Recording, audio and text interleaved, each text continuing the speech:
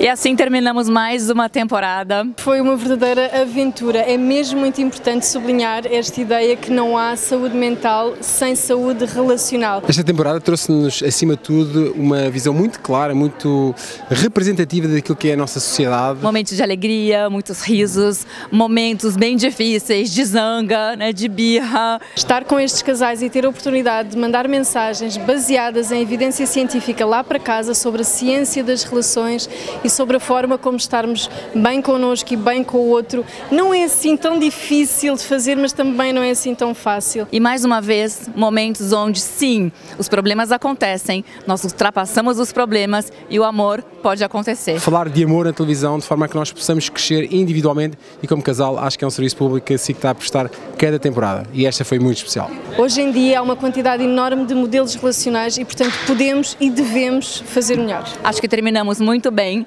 todos muito melhores do que quando começamos e que vocês aí também, tenho certeza, conseguiram retirar várias dicas. Continuemos acreditando no amor.